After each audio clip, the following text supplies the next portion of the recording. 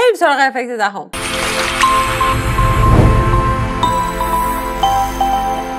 خب بچه افکت دهم افکت تینته حتما تو ویدیوهای یوتیوبرهای معروف یا حالا کلا خیلی از یوتیوبرها دیدین که تصویر یهو سیاه میشه یهو سبز میشه یهو قهوه‌ای میشه یا هر سن دیگه. خب؟ که می‌خوان اون حس یهو مثلا طرف میبازه یا یهو شوکه میشه. معمولا هم خیلی سیاسفیدش می‌کنه. این حالت رو با چی میشه در آورد؟ با tint بریم بهتون بگم چجوری.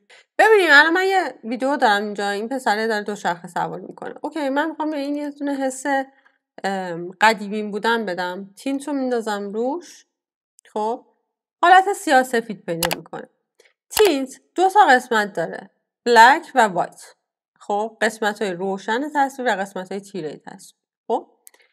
amount of tint هم یعنی اون درصدی که این رنگا تاثیر می‌ذاره رو ویدیوتون ماسک هم که خب طبق معمول همشون میگه من الان اگه black ها رو سبز کنم خب ببین شما می‌بینید که قسمت های تیره اینجا کامل این رنگ است. بقیه که حالا یه ذره تیره بوده یه کوچولو رنگ سبز گرفته. اگه highlight رو هم مثلا قرمز کنم اینجا تفاوت هایلایت و شادو رو شما کاملا می‌بینید که چقدر با هم دیگه فرق می‌کنن خب؟ و این امانت رو هر چقدر کمتر کنم این رنگ تاثیرش کمتره. الان همین کار رو ببینید بچه این شبیه یه سری از عکسایی نیستش که با دوربینای خیلی قدیمی گرفته می‌شد معمولا یه زردی داشت یا خراب می‌شد و اینا. این یه همچین تمی داره.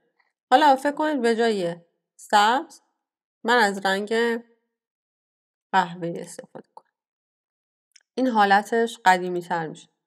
قرمزش رو هم یه ذره کمتر کنیم یه ذره که نه یعنی خیلی کمتر کنیم ببینید چه اتفاقی میفته قشنگ تم تم قدیمی طور میشه. حالت قدیمی پیدا می‌کنه. احتمالا دیدین توی فیلم های سینمایی جدید که مثلا تو یه سری از فیلم ها سیاه سفید بود کل فیلم. یا مثلا یه طیف رنگی خیلی خاصی داشت. به این وسیله می‌تونید اون طیف رنگی رو درست کنید و همین کار اگر یه overlay روش بذاریم که مثلا یه ذره حالت این تیک تیک های فیلم های قدیمی رو داره یه ذره حالت نویزی روش داره بهش اضافه کنید کامل فیلمتون شبیه فیلم های قدیمی میشه و می‌تونید توی edit هاتون ازش استفاده کنید.